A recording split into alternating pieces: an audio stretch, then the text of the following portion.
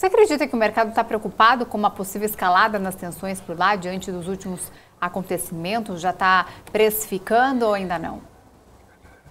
É difícil dizer, o que a gente viu no final de semana foi aquela ponte ali que liga Crimeia, né, a região anexada pela Rússia, ponte destruída, falando que foi um atentado. E aí a gente viu, eu vi vídeos assim horrorosos em relação ao ataque até em Kiev, né, é, durante a hora do rush, ou seja, é uma situação. Porque essa é a grande pergunta. Eu vi alguns comentaristas no passado, antes da guerra acontecer, não, não vai acontecer uma guerra. No dia seguinte, a Rússia invadiu a Ucrânia. Depois falou, não, vai ser só um mês. A gente está falando de meses e não se resolve.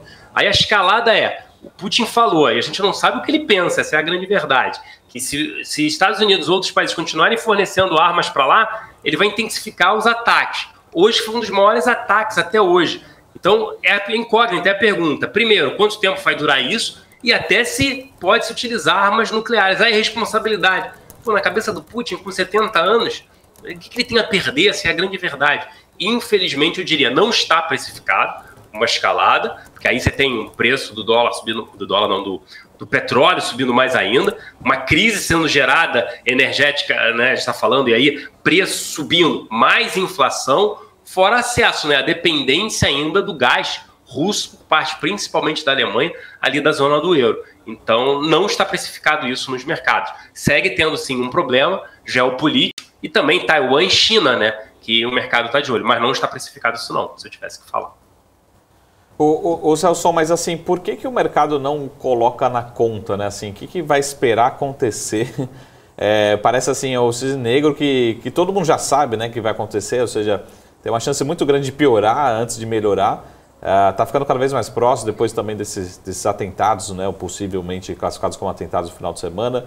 Uh, o que, que realmente o mercado está esperando? Porque uh, olhar para as bolsas, por exemplo, de uma forma geral, os ativos, realmente parece não estar precificando ainda esse, esse pior cenário. Assim, petróleo ali na casa de 90, 95, né, as bolsas Uh, tivemos aí um começo de outubro positivo, né, de uma forma né, global. Enfim, o que, que realmente falta para o mercado ou será que, que uh, não estamos querendo realmente dar uh, o peso né, necessário para esse tema, para esse assunto, principalmente os nativos de risco né, globalmente?